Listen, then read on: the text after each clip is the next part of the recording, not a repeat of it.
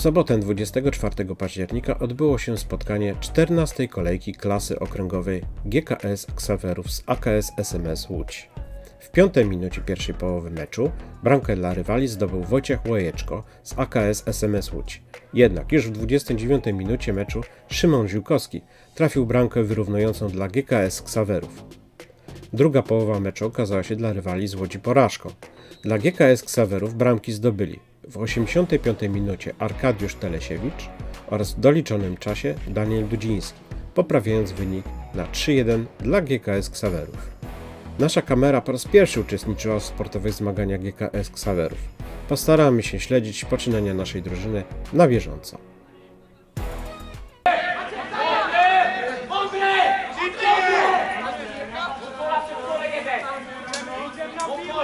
Bez pole! okay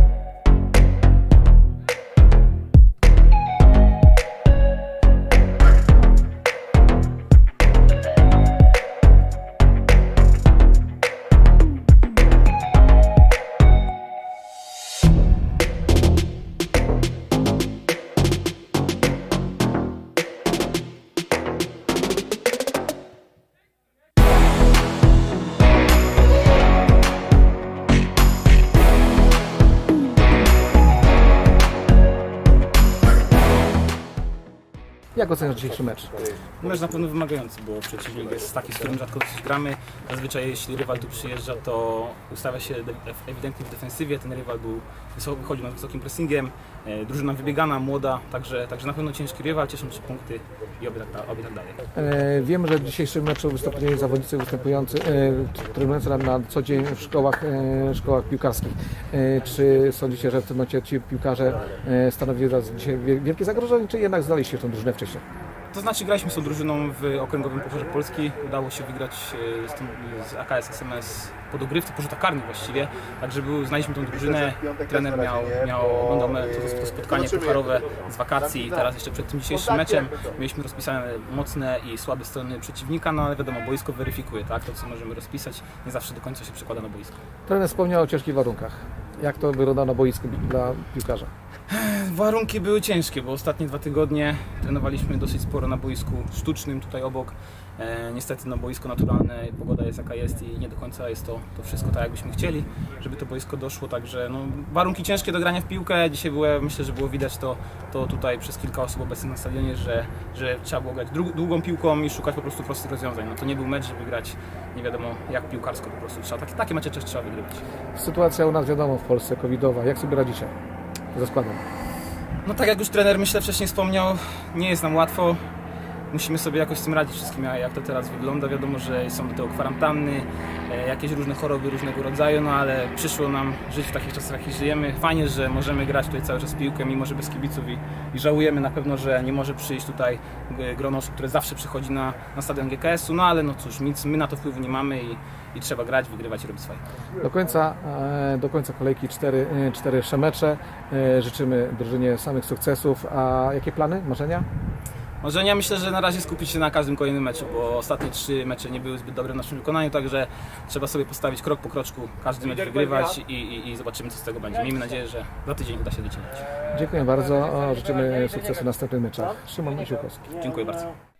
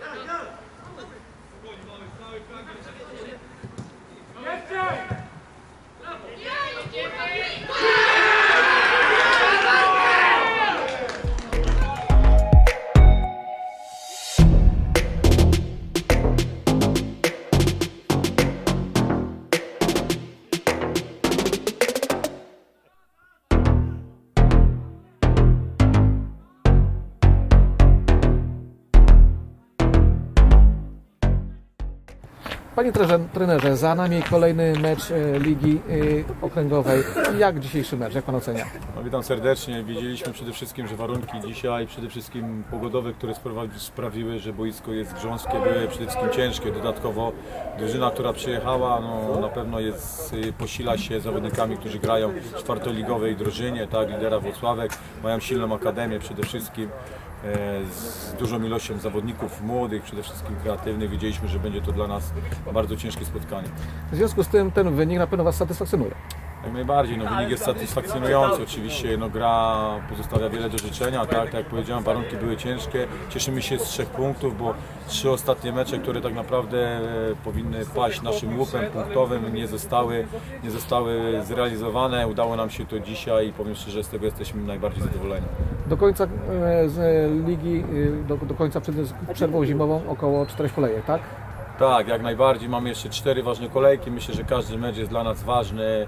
Z meczu na mecz e, przede wszystkim gdzieś ta pandemia też nam troszeczkę rozebrała drużynę. Tak? No, są to rzeczy, na które nie mamy wpływu i myślę, że, że do końca przede wszystkim będziemy starali się zebrać komplet punktów, tak? choć przed nami jest nie lada wyzwanie. Czyli jak pandemia, to, to myślimy, to dzisiejszy skład był tą najsilniejszą drużyną, czy jeszcze macie nie. rezerwy swoje? Nie, nie. Powiem szczerze, że odkąd pracuję tutaj w klubie, tak, pracuję dodatkowo jeszcze z taką kliniką sportu, zajmuję się prewencją urazów. Przede wszystkim powiem szczerze, pierwszy raz się spotkałem z taką ilością może niedużych urazów, ale drobnych urazów, przede wszystkim urazy, które dziś wykluczyły zawodników podstawowych, młodzieżowców i, no, i mamy nie lada problem, tak. Tylko no, mierzymy się z tym problemem, jak i wszyscy. Podejrzewam, że wszyscy mają też takie problemy, a my z racji tego też sobie jakoś musimy radzić. Czyli cóż, e, cztery kolejki życzymy e, drużynie GKS-u jak najlepszych wyników do, do, końca, e, do końca tego sezonu, znaczy do przerwy zimowej. No i oczywiście ambicje mamy na to, żeby wystartować w lidze wyższej. Tak, jak najbardziej. My oczywiście przede wszystkim gdzieś sobie cały czas wyznaczamy cel. Ten cel zawsze kurczę daje sygnał zawodnikom, że praca, którą dziś wkładamy podczas całych mikrocykli ma spowodować, że w meczu mistrzowskim wyglądamy, wyglądamy dobrze. Tak? No nie zawsze realizujemy to, co dziś sobie zakładamy, no ale piłka nie zawsze jest sprawiedliwa, tak samo jak i sport, tak samo i tutaj sport drużynowy, jak jest piłka nożna. To cóż, życzymy następnych sukcesów. Dziękuję bardzo. Rozmawialiśmy z... Jarosławem Maciszczakiem, trenerem pierwszej drużyny GKS Ksawery. Dziękuję bardzo. Dziękuję, pozdrawiam, wszystkiego dobrego.